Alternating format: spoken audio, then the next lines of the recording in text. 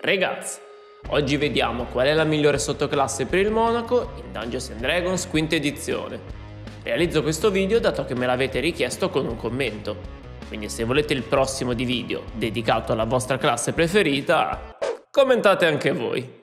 E ora iniziamo!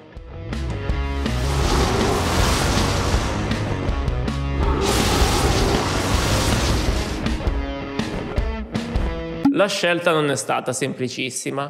Al contrario del primo video di questa serie, che era dedicato al chierico e che se volete potete recuperare cliccando sulla scheda qua in alto o cercando il link in descrizione, non c'era per il Monaco una singola sottoclasse così più forte rispetto a tutte le altre, in modo schiacciante.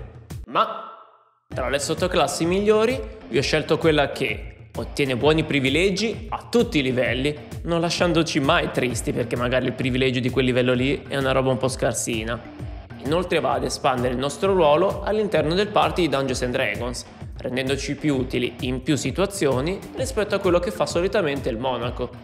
Inoltre è carina, almeno secondo me, anche a livello di caratterizzazione, e poi è quella che ho più visto giocare dei miei amici Powerplay. La sottoclasse in questione è quella del Monaco della Misericordia presente nel manuale di Tasha.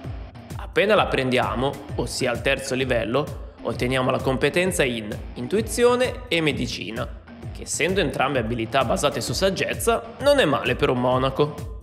Anche se in medicina spesso non serve a un cazzo. Dopodiché otteniamo una maschera speciale, adatta ai monaci che intraprendono questa via di specializzazione. Essa, a livello di meccaniche di gioco, non fa cambiare nulla, ma aggiunge, secondo me, un simpatico tocco di caratterizzazione alla sottoclasse. Sempre al terzo livello otteniamo mano guaritrice, con cui possiamo curare i nostri alleati, spendendo un'azione e un punto key, di un numero di punti ferita pari a un tiro del nostro dado di arti marziali più il modificatore di saggezza. Oppure possiamo usare mano guaritrice, al posto di uno dei colpi garantiti dal privilegio del monaco, raffica di colpi, senza dover spendere azioni o punti key aggiuntivi. Chiariamo che non si tratta di un sacco di punti ferita curati per volta, ma siccome basta anche solo un punto per far riprendere il combattimento a un nostro compagno morente, ne vale sicuramente la pena. Inoltre, Visto che i monaci recuperano i punti key anche solo con un riposo breve, il totale che possiamo curare durante un intero giorno di avventura è assolutamente rilevante.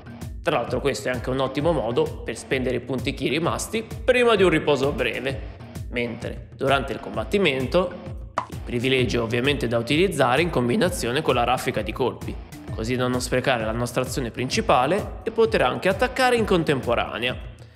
Sempre al terzo livello da Monaco della Misericordia otteniamo Mano del Dolore, che ci permette, quando colpiamo un nemico con un colpo senza armi, infliggere danni necrotici extra, pari a un tiro del nostro dado di arti marziali più il modificatore di saggezza. Questo privilegio può essere utilizzato massimo una volta per turno. Partiamo col dire che il tipo di danno, ossia necrotico, è buono, perché pochi nemici resistono ad esso Inoltre questo privilegio applica dei danni extra quando colpiamo e noi sappiamo che i danni extra raddoppiano durante i critici. Visto che possiamo decidere di utilizzare il privilegio dopo che abbiamo colpito e quindi dopo che abbiamo visto che il colpo è effettivamente un critico, possiamo decidere di fare un bel po' di danni al momento giusto. Il privilegio di sesto livello invece fa diventare più efficaci sia mano guaritrice sia mano del dolore. Quando curiamo i nostri alleati possiamo anche porre fine a una malattia o a una condizione tra accecato, assordato, paralizzato, avvelenato o stordito al nostro bersaglio. Veramente top!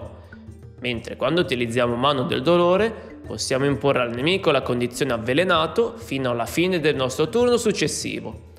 La condizione di avvelenato è veramente infame, dato che impone svantaggio a tutti i tiri per colpire e alle prove di caratteristica e se avere svantaggio ai tiri per colpire è scontato che sia una bella rogna in combattimento, anche averlo alle prove di caratteristica lo è, dato che le prove di lottare e spingere una creatura sono prove di forza, e quindi potremo approfittarne contro i nemici che avveleniamo.